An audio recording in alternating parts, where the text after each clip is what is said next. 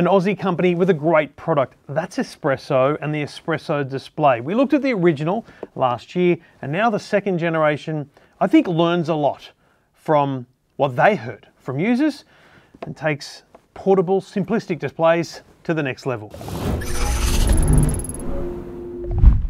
I mean, the display itself is literally in this box. This is all you need for the espresso display. And this is what it looks like when you set up. Now I'm sitting here at the coffee table, but obviously you could be at a cafe, you could be at a meeting, you could be sitting at someone else's desk and use your laptop to control what you're doing, but then actually have a display operating somewhere else. You know, it could be pointing at, I've, I've sat this uh, with someone else sitting across from me so that I could show them uh, what I was working on, share my screen without having to do a whole presentation up onto a projector. But more importantly, in a work from home environment, it means you can sit at the kitchen table, the dining table, wherever you are, and just set up with a, a more familiar user experience because so many of us now are used to having multiple displays on our computers. So you're looking at $529 up to seven, nearly $800, right? It's an expensive display. Straight out of the box, you have to accept that. But it's just so advanced. There's no power. There's just the one cable here between my MacBook in this case and the Espresso display. It's sitting magnetically on this mount, which has, is an optional accessory, uh, but I would highly recommend it.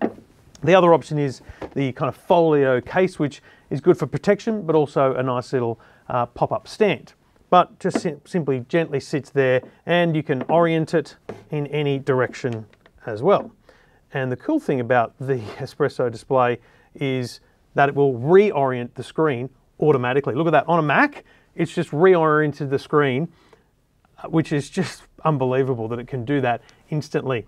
Now, in part, that's because instead of with the original Espresso display, they had software that you could use that would enable it for touch on Mac. It wasn't amazing. But now they've got this software called Espresso Flow. And I think the cool thing about that software is it shows you what's going on instantly. It talks you through how to use it and it enables a lot of the functionality like touchscreen. So here I'm just scrolling through Twitter with two fingers. Now I can use uh, four fingers to switch between screens. Um, there's a whole range of things you can do. I'm going to put it back in uh, normal uh, landscape mode. And you see it just turns itself off and back on again there. So I've got this in full screen and if I swipe, I can swipe between my workspaces. Now the other critical thing that I was a little bit critical of uh, in the last one was color control and whether or not it was truly representative of the colors that you would want and expect from your screen. So in this one, we can now swipe up with two fingers from the bottom of the display and we bring up some menus like brightness, volume, and also a full color balance. So you can go into gaming mode, uh, nighttime mode, or you can create your own mode as well. And you've got a, a really simple slider for a kind of uh, color correction. Very, very easy to use. It means that I'm not getting this disparity between the two displays in terms of color. And it's just so good. Now, obviously, there's uh, there's also a pen you can use, a stylus. There's a lot of people use these you know, for, uh, for uh, artwork and drawing and things like that. But I think the main use for this is definitely the, I'm going away, I'm going to set up in a hotel room for three days, and I'm going to need to work. The price is high. I'll say that again, but just look at what you're getting. Okay? Look at that. It's so thin and it's so light. So the key thing for me here about the Espresso display is amazing quality screen. It's beautiful. Um, you do get some functionality, so touch screen. So I'm, I'm operating here, um, it's flicking around. You wouldn't normally hold it in your hand. I'm operating this one with a touch screen with, with great ease, and there's no weirdness about that on a Mac.